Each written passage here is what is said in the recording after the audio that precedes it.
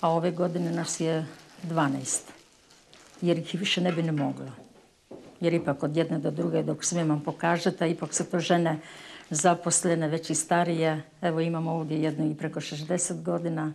Imamo još jednu stariju, preko 70. Danas je trebala doći pa nešto je spriječilo. I tako. Učiju se, dobro su se naučile, imaju volju, to je najvažnije. Evo, to vam je karton. I sad morate imati neku šemu po kome vi to pobadate. I sad kad nabadate, vidite ta rupica od traga, onda se to šinjiva. E sad,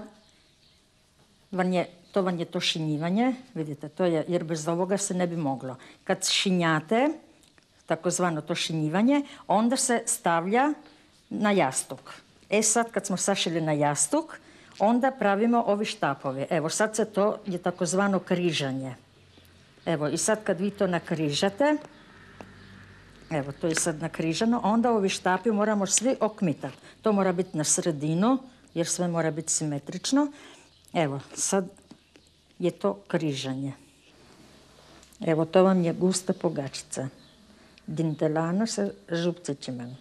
Onda vam je kolumbarić rijetki sa e, malim sunašcima.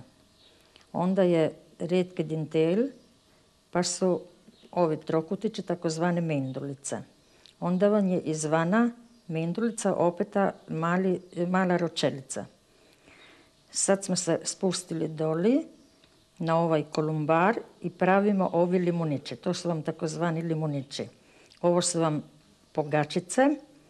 E, kad smo napravili to, onda smo se spustili na ovaj kolumbar, napravili smo rijetki dintel i opet smo napravili ove mendulice.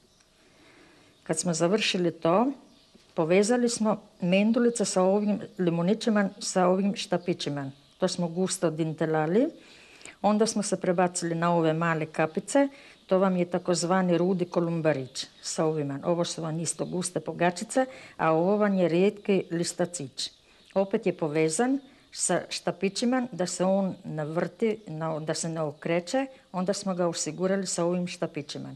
E sad smo došli na ovaj zadnji kolumbar, napravili smo rijetki dintel i izvana vam dođeju male pekice, takozvane pekice ili ročelice, već kako mi to nazivi imamo.